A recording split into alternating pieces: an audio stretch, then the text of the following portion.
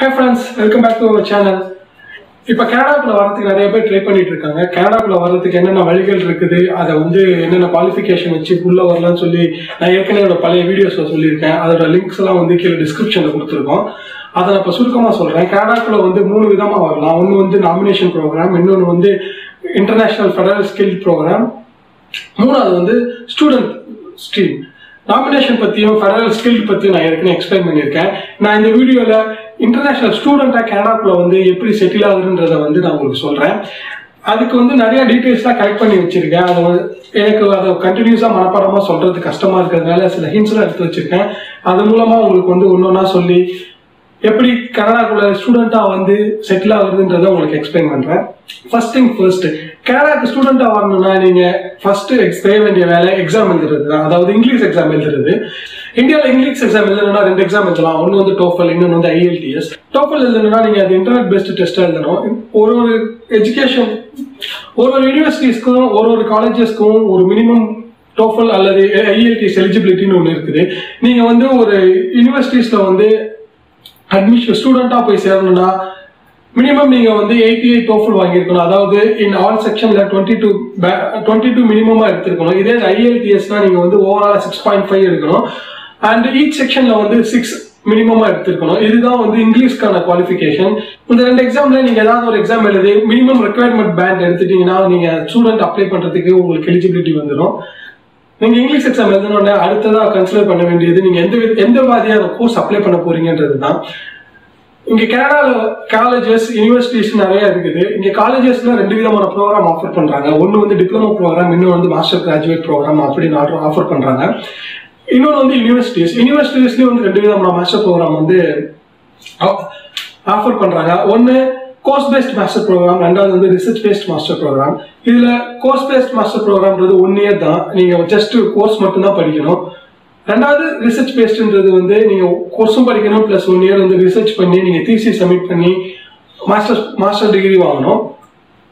இப்போ இந்த Canada universities colleges வந்து எப்படி அப்ளை பண்றது நான் உங்களுக்கு சொல்றேன்.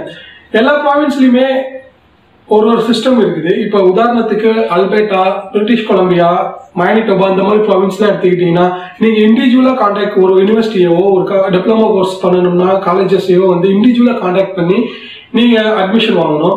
இதே ஆண்டாரியோன்னு வச்சுக்கிட்டீங்கன்னா யூனிவர்சிட்டிஸ்க்கு வந்து நீங்க இண்டிவிஜுவலா தான் காண்டாக்ட் பண்ணணும். பட் காலேஜஸ்க்கு அப்ளை பண்ணணும்னா இன்டர்நேஷனல் காலேஜ் போர்ட்டல்னு சொல்லிட்டு ஒரு காமன் போர்ட்டல் வச்சிருக்காங்க. அந்த போர்ட்டலுக்குள்ள போய் நீங்க லாகின் உங்களுக்கு யூசர் நேம் பாஸ்வேர்ட் கிரியேட் பண்ணி லாகின் பண்ணி உங்களுக்கு என்ன ப்ரோக்ராம் எந்த காலேஜில் வந்து அப்ளை அப்ளை பண்ணணும்னு விருப்பம் இருக்கோ அந்த ப்ரோக்ராம் அந்த காலேஜை நீங்க செலக்ட் பண்ணி நீங்க ஜஸ்ட் அப்ளை பண்ணா போதும். ஆண்டாரியோ பொறுத்த வரைக்கும் நீங்க எந்த காலேஜஸையும் இண்டிவிஜுவலா காண்டாக்ட் பண்ணணும்னு அவசியம் கிடையாது. கனடியன் காலேஜஸ்ல அட்மிஷன் வாங்குறது கொஞ்சம் சிம்பிள் தான். ஏன்னா உங்கள்ட்ட காசு இருந்துச்சுன்னா நீங்க ஈஸியாக அட்மிஷன் வாங்கிக்கலாம் பட் யூனிவர்சிட்டிஸ்ல அட்மிஷன் வாங்குறது கொஞ்சம் கஷ்டமான விஷயம். உங்களுக்கு வந்து ஹைலி குவாலிஃபைட் பர்சனாக இருந்து நல்ல இங்கிலீஷ் ஸ்கோர் எடுத்தால் தான் உங்களுக்கு யூனிவர்சிட்டிஸில் வந்து அட்மிஷன்லாம் வாங்க முடியும். நான் உங்களுக்கு இன்ஜினியரிங் பெஸ்ட் கோர்ஸ் வந்து எப்படி யூனிவர்சிட்டிஸில் அப்ளை பண்ணி வாங்க அட்மிஷன் வாங்குறதுன்றதை எக்ஸ்பிளைன் பண்ணுறேன் ஏன் கனடாவில் இன்ஜினியரிங் வந்து ரொம்ப ஃபேமஸான ஒரு field Canadian யூனிவர்சிட்டிஸில் University of Toronto University of Waterloo University of Western Ontario University of British Columbia University Alberta அதுக்கப்புறம் வந்து டல்ஹவுஸ் யூனிவர்சிட்டிஸ் இன்னும் சொல்ல சில யூனிவர்சிட்டிஸ்லாம் ரொம்ப ஃபேமஸான யூனிவர்சிட்டிஸ் இந்த யூனிவர்சிட்டிஸ்ல இன்ஜினியரிங் ப்ரோக்ராம்ன்றது ரொம்ப ஃபேமஸ் ப்ளஸ் வந்து கிடைக்கிறது கொஞ்சம் கஷ்டமான விஷயம். நம்ம ஊர்ல இருந்து வர ஸ்டூடெண்ட்ஸ் பர்டிகுலராக இன்ஜினியரிங் ஸ்டூடெண்ட்ஸ் வந்து இந்த ஒன்னா இந்த யூனிவர்சிட்டி ஸ்கூலில் தான் அட்மிஷன் வாங்கணும்னு விருப்பப்படுவாங்க. ஏன்னா இதோட ரெப்படேஷன் ரொம்ப அதிகம் இங்கே முடிச்சிங்கன்னா உங்களுக்கு வேல்யூஸ்லாம் ரொம்ப நிறைய இருக்கும். ஸோ ஈஸியாக ஜாப் வாங்கலாம்னு சொல்லிட்டு இந்த யூனிவர்சிட்டிஸ்ல தான் அப்ளை பண்ணுவாங்க. இந்த யூனிவர்சிட்டிஸ் எல்லாத்துக்குமே இங்கிலீஷ் ரெக்குயர்மெண்ட்றது வந்து கிட்டத்தட்ட ஒரே மாதிரி தான் இருக்கும். அதாவது டோஃபல்ல நீங்க மினிமம் எயிட்டி எயிட் இருக்கணும் எல்லா செக்ஷன்லயும் மினிமம் டுவெண்ட்டி டூ எடுத்துருக்கணும் ஐஎல்டிஎஸ்னா ஓவராலா மினிமம் சிக்ஸ் பாயிண்ட் ஃபைவ் இருக்கணும். ஒவ்வொரு செக்ஷன்லயும் ஈச் செக்ஷன் ஒவ்வொரு செக்ஷன்லயுமே வந்து மினிமம் சிக்ஸ் எடுத்திருக்கணும். இதுதான் வந்து இங்கிலீஷ்க்கான ரெக்குயர்மெண்ட் இந்த ரெக்குயர்மெண்ட் வந்து கிட்டத்தட்ட எல்லா யூனிவர்சிட்டிஸ்க்குமே ஒரே மாதிரி தான் இருக்கும். ஸோ நீங்க எவ்வளோக்கு எவ்வளோ அதிகமா இருக்கிறீங்களோ உங்களுக்கு அவ்வளோக்கு அவ்வளோ நல்ல யூனிவர்சிட்டிஸ்ல அட்மிஷன் கிடைக்கிறதுக்கான வாய்ப்புகள் இருக்குது. ரெண்டாவது விஷயம் எப்படி அட்மிஷன் வாங்குறது? நான் ஏற்கனவே சொன்ன மாதிரி மாஸ்டர் யூனிவர்சிட்டிஸ் மாஸ்டர்ஸ் வந்து ரெண்டு விதமான கோர்சஸ் இருக்கு. ஒன்று வந்து course based courses research based courses course base courses வந்து நீங்க டைரக்டா ஒரு டிபார்ட்மெண்ட்டையுமே கான்டாக்ட் பண்ணி நீங்க அப்ளை பண்ணணும். அதாவது இப்போ சப்போஸ் நீங்க ஒரு கெமிக்கல் இன்ஜினியர் ஒரு எலக்ட்ரிக்கல் இன்ஜினியரிங் வந்து கோர்ஸ் பேஸ்ட் மாஸ்டர்ஸ் பண்ணணும்னு விருப்பப்பட்டீங்கன்னா நீங்க டைரக்டா அந்த டிபார்ட்மெண்ட்டை காண்டாக்ட் பண்ணி உங்களோட குவாலிஃபிகேஷன்லாம் வச்சு நீங்க யூனிவர்சிட்டிஸ் வெப்சைட்ல போய் அப்ளை பண்ணணும். இதே ரிசர்ச் பேஸ் கோர்ஸா இருந்தீங்கன்னா நீங்க ஃபர்ஸ்ட் பண்ண வேண்டிய விஷயம் நீங்க வந்து ஒரு சூப்பர்வைசரை பிடிக்கணும். ஏன்னா ஏன்னா நீங்க அவர் கீழே தான் ரிசர்ச் ஒர்க் பண்ணி நீங்க தீசி சப்மிட் பண்ண முடியும்.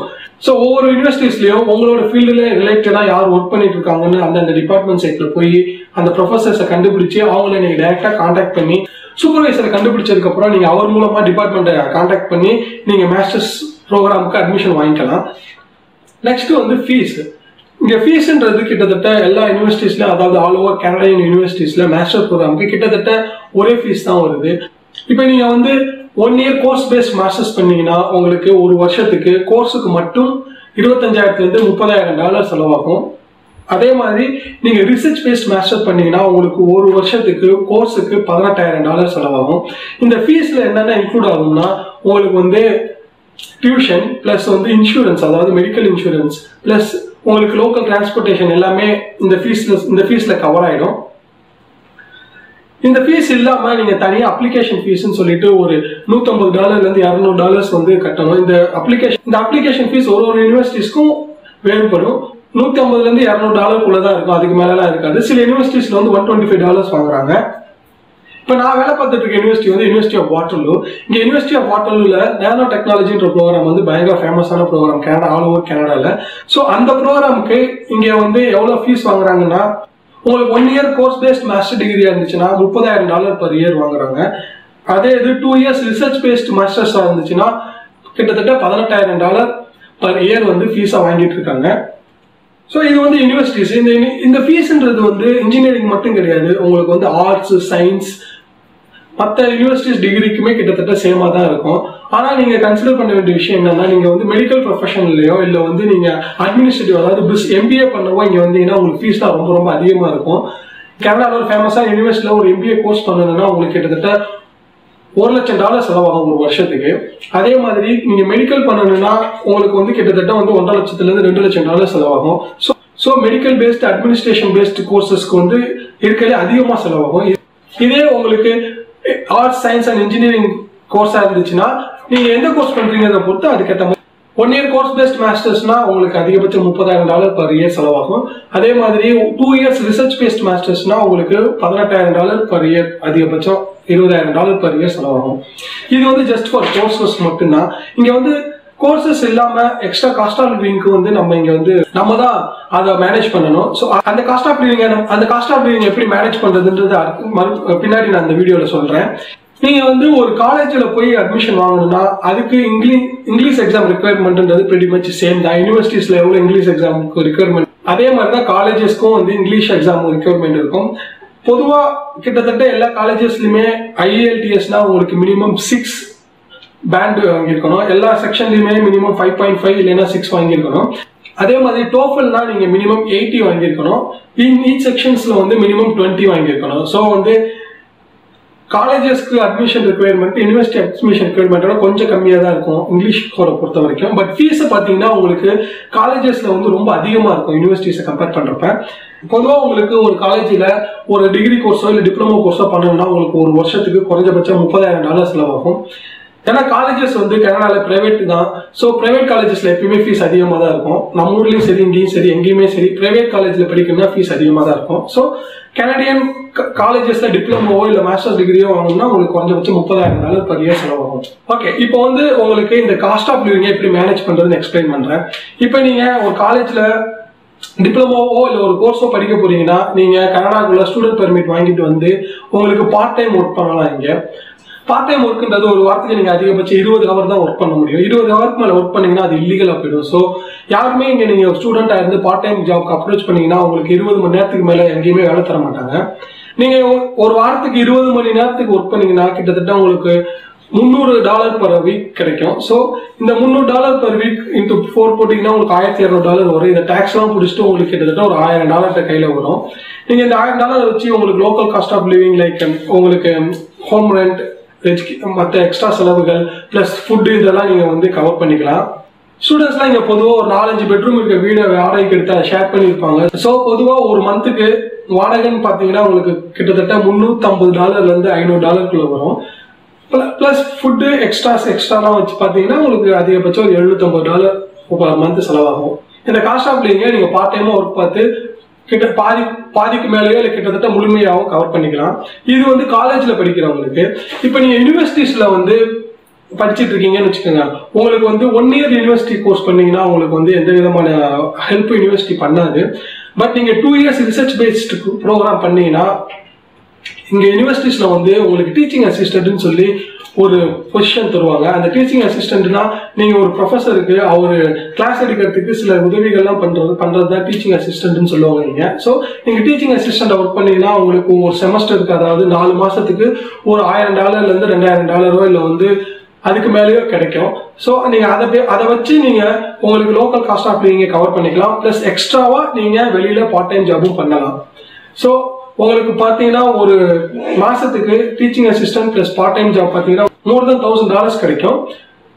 இது வந்து நீங்கள் two years research base course பண்ணால் மட்டும்தான் உங்களால் சம்பாதிக்க முடியும் இந்த அளவுக்கு.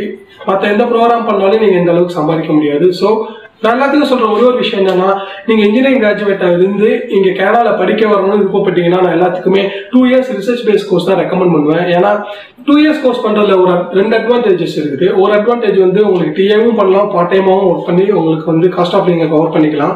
இன்னொரு விஷயம் நீங்கள் டூ இயர்ஸ் மாஸ்டர்ஸ் கோர்ஸ் பண்ணாங்கன்னா அவங்களுக்கு ஒர்க் பர்மிட் எக்ஸ்ட்ரா கிடைக்கும்.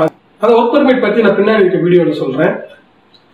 அடுத்த விஷயம் ஸ்காலர்ஷிப் இன்டர்நேஷனல் ஸ்டூடெண்ட்ஸ்க்கு வந்து இங்கே ஸ்காலர்ஷிப்லாம் கிடைக்கும். இந்த ஸ்காலர்ஷிப் வந்து உங்களுக்கு யூனிவர்சிட்டிஸில் ரிசர்ச் பேஸ்ட் ப்ரோக்ராம் பண்ணால் மட்டும்தான் கிடைக்கும். மற்றபடி எந்த கோர்ஸ் பண்ணாலும் உங்களுக்கு ஸ்காலர்ஷிப் கிடைக்காது. இந்த ஸ்காலர்ஷிப் வந்து எப்படி கொடுப்பாங்கன்னா நீங்கள் உங்கள் அகாடமிக் டிகிரியை நல்லா மெயின்டைன் பண்ணிட்டு உங்களுக்கு ரிசர்ச்சையும் நல்லா பண்ணீங்கன்னா உங்களுக்கு கிட்ட உங்களுக்கு கிட்டத்தட்ட ஹோல் அட்மிஷன் ஃபீஸுமே வந்து ரிட்டர்ன் வர மாதிரி வந்து உங்களுக்கு ஸ்காலர்ஷிப் கிடைக்கும். ப்ளஸ் ப்ளஸ் நல்ல அகாடமிக் லெவலில் நீங்கள் மெயின்டைன் பண்ணீங்கன்னா அதாவது அதாவது எல்லா செமஸ்டர்லையும் நல்ல கிரேட் எடுத்து அதே கிரேடே எல்லா வருஷமும் மெயின்டைன் பண்ணீங்கன்னா ஒரு வருஷ கடைசியில் உங்களுக்கு யூனிவர்சிட்டிஸே கிட்டத்தட்ட fifty percent to seventy five percent ஃபீஸை வந்து ரிட்டர்ன் பண்ணும். இது- இதுதான் யூனிவர்சிட்டிஸில் படிக்கிறதுல ஒரு பெரிய அட்வான்டேஜ் இதே நீங்கள் வந்து காலேஜஸில் படிச்சீங்கன்னா அவங்களும் சில ஸ்காலர்ஷிப்லாம் தராங்க பட் ரொம்பலாம் இருக்காது. உங்களுக்கு அதிகபட்சம் ஒரு வருஷத்துக்கு ஒரு மூவாயிரம் டாலர் வரைக்கும் உங்களுக்கு ஸ்காலர்ஷிப் கிடைக்கும். அந்த மூவாயிரம் டாலர் வச்சு உங்களால் டியூஷன் ஃபீஸை கூட வந்து கவர் பண்ண முடியாது. ஸோ இங்கே யூனிவர்சிட்டியில் வந்து படிக்கிறது தான் ரொம்ப பெஸ்ட்டாக இருக்கும். காலேஜில் படிக்கிறது வந்து இங்கே ஒர்க் பர்மிட் வாங்குறதுக்கு வேணா உங்களுக்கு யூஸ்ஃபுல்லாக இருக்கலாம். பட் பட் உங்களுக்கு ஒர்க் பர்மிட்டும் வாங்கணும். ப்ளஸ் உங்களோட அட்மிஷன் ஃபீஸு மற்ற காஸ்ட் ஆஃப் லிவிங்கும் கவர் பண்ணி நீங்கள் செட்டில் ஆகணும் விருப்பப்பட்டீங்கன்னா யூனிவர்சிட்டிஸில் வந்து சேருங்க. அதுதான் வந்து பெஸ்ட் ஐடியா நெக்ஸ்ட் வந்து உங்களுக்கு ஸ்டூடெண்ட் வீசா எப்படி வாங்குறதுன்றதை எக்ஸ்பிளைன் பண்ணுறேன் உங்களுக்கு ஸ்டூடெண்ட் வீசா வாங்குறதுக்கு ஃபர்ஸ்ட் ரிக்குயர்மெண்ட்டே உங்களோட அக்செப்டன்ஸ் லெட்டர் அப்படின்னு சொல்லிட்டு யூனிவர்சிட்டிஸ்ல இருந்து உங்களுக்கு அட்மிஷன் கூட கிடைச்சிருச்சுன்னு ஒரு அக்செப்டன்ஸ் லெட்டர் அனுப்புவாங்க. அதுதான் தேவை. இந்த ஸ்டூடெண்ட் விசா அப்ளை பண்றதுக்கான ஃபீஸ் வந்து நூத்தி ஐம்பது டாலர் தான். இப்போ இந்தியால இருந்து நீங்க ஸ்டூடெண்ட் ஃபீஸ் அப்ளை பண்ணீங்கன்னா நமக்குன்னு ஒரு தனியா ஸ்பெஷல் ஸ்ட்ரீம் ஒன்று வச்சிருக்காங்க. அதாவது ஸ்டூடெண்ட் டேரக்டர் ஸ்ட்ரீம் அப்படின்னு வச்சிருக்காங்க. இது வந்து ஒரு ஃபாஸ்ட் ட்ராக் ப்ராசஸ் மாதிரி. அதாவது அதாவது உங்களுக்கு இருபது நாள்லயே உங்களுக்கு ஸ்டூடெண்ட் வீசா கிடைச்சிரும். ஸோ உங்களுக்கு ஈஸியா சீக்கிரமா கிளம்பி வந்துடலாம் இதுக்கு வந்து உங்களுக்கு என்னென்ன டாக்குமெண்ட்ஸ் தேவைன்னா ஃபர்ஸ்ட் வந்து அக்செப்டன்ஸ் லெட்டரு ரெண்டாவது வந்து இங்கிலீஷ் எக்ஸாம் ஸ்கோர்ஸ் ஷீட் அதாவது TOEFL or IELTS exam sheet அதுக்கப்புறம் வந்து பயோமெட்ரிக் ஸ்கேன் பண்ணணும். நீங்கள் வந்து இந்தியாவில் விஎஃப்எஸ்க்கு போனீங்கன்னா உங்களுக்கு கைரேகெல்லாம் ஸ்கேன் பண்ண சொல்லி கொடுப்பாங்க. ஸோ நீங்கள் அப்ளை பண்ணுறப்பே நீங்கள் பண்ணிடலாம். அடுத்தது வந்து மெடிக்கல் எக்ஸாம் இருக்கிறது. சென்னை அப்போலோவில் மெடிக்கல் எக்ஸாம் எடுக்கலாம். அதுக்கு வந்து கிட்டத்தட்ட எட்டாயிரத்தி ஐநூறுரூபா செலவாகும். அடுத்தது வந்து போலீஸ் சர்டிஃபிகேட் போலீஸ் சர்டிஃபிகேட் வந்து எல்லா பாஸ்போர்ட் ஆஃபீஸ்லையும் அப்ளை பண்ணீங்கன்னா ஃபீஸ் ஐநூறுரூபா தான். அதை வந்து ஒரே நாளில் கிடைச்சிரும். அடுத்தது வந்து உங்களுக்கு ப்ரூஃப் ஆஃப் ஃபண்ட் காட்டணும். நீங்க ஸ்டூடெண்ட்டாக இங்கே வந்து ஃபஸ்ட் இயர் ஸ்டூடெண்ட் ஃபீஸை கவர் பண்ணுறதுக்கு உங்கள்கிட்ட காசு இருக்குன்னு சொல்லி இமிக்ரேஷனுக்கு நீங்க ப்ரூவ் பண்ணி ஆகணும். அதுக்கு வந்து எவ்வளவு ஃபீஸ் காட் எவ்வளவு வந்து நீங்க ப்ரூஃப் ஆஃப் ஃபண்ட் காட்டணும்னா பதினோராயிரம் டாலர் வந்து உங்கள்கிட்ட இருக்கிற மாதிரி நீங்க ப்ரூஃப் ஆஃப் ஃபண்ட் காட்டி ஆகணும். கடைசி ஃபீ கடைசி வந்து நீங்க யூனிவர்சிட்டிஸில் அட்மிஷன் கிடச்சி நீங்கள் அதுக்கு ஃபீஸ் நீங்க ஃபீஸ் பே பண்ணிட்டீங்கன்னு ஒரு ப்ரூஃப் காட்டணும். அதாவது நீங்கள் ஃபீஸ் பே பண்ணதுக்கு ரிசிப்ட் கொடுப்பாங்க அந்த ரிசிப்ட் அட்டாச் பண்ணணும். ஸோ இந்த டாக்குமெண்ட்ஸ் ப்ளஸ் சில எக்ஸ்ட்ரா டாக்குமெண்ட்ஸ்லாம் நீங்கள் எப்போ அப்ளை பண்ணுறீங்களோ அதுக்கு வந்து கேட்பாங்க. அதாவது passport copy address proof age proof இந்த மாதிரிலாம் ஏதாவது கேட்பாங்க. அது மாதிரி அதெல்லாம் கொடுத்து நீங்கள் அப்ளை பண்ணீங்கன்னா உங்களுக்கு ஸ்டூடெண்ட் டைரக்ட் ஸ்ட்ரீம் மூலமாக இருபது நாளில் வீசா வந்துடும் அடுத்த இம்பார்ட்டண்டான விஷயம் கனடாவில் படிச்சீங்கன்னா உங்களுக்கு எவ்வளோ வருஷத்துக்கு ஒர்க் பர்மிட் தருவாங்கன்றது தான் ரொம்ப முக்கியமான விஷயம். நம்ம ஊர் ஸ்டூடெண்ட்ஸ் பண்ணுற பெரிய தப்பு என்னன்னா இங்கே எந்த கோர்ஸ் படித்தா எவ்வளோ நாள் ஒர்க் பர்மிட் கிடைக்கும் தெரியாமல் சின்ன சின்ன கோர்சஸ்லாம் சேர்ந்து அவங்களால ஒர்க் பர்மிட் வாங்க முடியாமல் திரும்பி போகிறது தான் எனக்கு தெரிஞ்சு இங்கே இருக்க எல்லா லோக்கல் காலேஜஸ்க்கும் நம்ம ஊரில் ஏஜென்ட்ஸ் வச்சுருக்காங்க. அந்த ஏஜென்ட் மூலமாக உங்களுக்கு நான் அங்கே போய் அட்மிஷன் வாங்கி தரேன். அந்த அட்மிஷன் வாங்கி நீங்கள் ஈஸியாக ஒர்க் பர்மிட் வாங்கிக்கலாம். அந்த ஒர்க் பர்மிட் மூலமாக நீங்கள் இப்போ கனடாவில் வேலை பார்த்து கனடாலே செட்டில் ஆகலாம்னு சொல்லி மிஸ்கைட் பண்ணி ஏஜென்ட்ஸ் வந்து அவங்க காசு காசப்பட்டு இங்கே ஸ்டூடெண்ட்ஸை வந்து சின்ன சின்ன கோர்ஸ் அதாவது six months course nine seven months course அந்த மாதிரி சின்ன சின்ன கோர்ஸில் அனுப்பிச்சு வச்சிடுறாங்க. அந்த கோர்ஸ் படிக்கிறதுல வந்து உங்களுக்கு பெரிய ட்ராபேக் என்னன்னா ஃபீஸ் எக்கச்சக்கமாக ஆகும். ப்ளஸ் உங்களுக்கு வந்து ஒர்க் பர்மிட் கிடைக்காது. ஏன்னா இங்கே வந்து ஸ்டூடெண்ட்டாக வரவங்க ஒர்க் பர்மிட் வாங்கணும்னா சில கிரைட்டீரியாஸ் இருக்குது. எப்படின்னா நீங்கள் ஒரு கோர்ஸ் சேர்றீங்கன்னா அந்த கோர்ஸ் மினிமம் எயிட் மந்த்ஸாக இருக்கணும். இந்த மாதிரி eight months to twelve two years கோர்ஸுக்கு உங்களோட கோர்ஸ் டியூரேஷன் வச்சு உங்களுக்கு ஒர்க் பர்மிட் தருவாங்க. எயிட் மந்த்ஸ்னா உங்களுக்கு எயிட் மந்த்ஸ் ஒர்க் பர்மிட் தருவாங்க. டூ இயர்ஸ்னா டூ இயர்ஸ் ஒர்க் பர்மிட் தருவாங்க. நீங்கள் யூனிவர்சிட்டிஸில் ரிசர்ச் பேஸ்ட் மாஸ்டர்ஸோ இல்லை பிஹெச்டியோ பண்ணீங்கன்னா உங்களுக்கு வந்து த்ரீ இயர்ஸ் ஒர்க் பர்மிட் தருவாங்க. ஸோ அந்த த்ரீ இயர்ஸ்க்குள்ளே நீங்கள் இங்கே வந்து ஒரு வேலை தேடி one year candidate work work எக்ஸ்பீரியன்ஸை கெயின் பண்ணி நீங்கள் கேண்டிடேட் எக்ஸ்பீரியன்ஸ் கிளாஸ் மூலமாக நீங்கள் கேனடாவில் பிஆர் வாங்கி செட்டில் ஆகலாம். இன்னொரு விஷயம் வந்து ஆண்டாரியோவில் நீங்கள் வந்து படிச்சீங்கன்னா உங்களுக்கு ப்ராவின்ஷியல் நாமினேஷன் கிடைக்கும். மாஸ்டர் ஸ்ட்ரீம் பிளஸ் வந்து பிஹெச்டி ஸ்ட்ரீம் ரெண்டு ஸ்ட்ரீம் வச்சிருக்காங்க. சப்போஸ் நீங்க கேரளா யூனிவர்சிட்டிஸ்லயோ இல்ல வந்து காலேஜஸ்லயோ டூ இயர்ஸ் மாஸ்டர்ஸ் டிகிரி பண்ணீங்கன்னா உங்களுக்கு மாஸ்டர்ஸ் ஸ்ட்ரீம் மூலமா உங்களுக்கு ஆண்டாரியோல நாமினேஷன் தராங்க. ஆனா இந்த மாஸ்டர் ஸ்ட்ரீம்ஸ் வந்து ரொம்ப லிமிடெட் அப்ளிகேஷன் தான் கொடுக்குறாங்க. ஸோ இது இயர்லியா ஃபில் ஆயிடும். பட் நீ யூனிவர்சிட்டிஸில் ஃபோர் இயர்ஸ் பிஎஸ்டி டிகிரி முடிச்சீங்கன்னா உங்களுக்கு கண்டிப்பாக நாமினேஷன் கிடைக்கும். ஏன்னா பிஎஸ்டி ஸ்ட்ரீம் வந்து த்ரூ அவுட் த இயர் கொடுத்துக்கிட்டே இருப்பாங்க.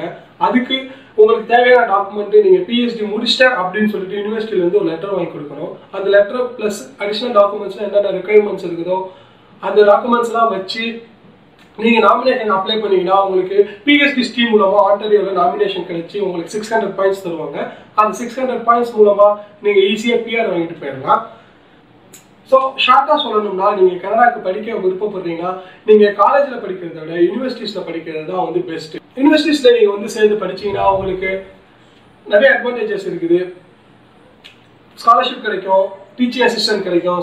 அது மூலமாக நீங்கள் எக்ஸ்ட்ரா மணி ஏர்ன் பண்ணிக்கலாம். ப்ளஸ் உங்களுக்கு three years post graduate work permit கிடைக்கும் பட் நீங்கள் காலேஜஸில் two years or more course படிச்சீங்கன்னா உங்களுக்கு three years post graduate work permit கிடைக்கும். பட் அது கம்மியாக படிச்சு காலேஜஸில் டூ இயர்ஸ்க்கு கம்மியாக நீங்கள் டிகிரி முடிச்சீங்கன்னா உங்களுக்கு உங்கள் டிகிரி டியூரேஷனை பொறுத்து உங்களுக்கு போஸ்ட் கிராஜுவேட் ஒர்க் பர்மிட் தருவாங்க.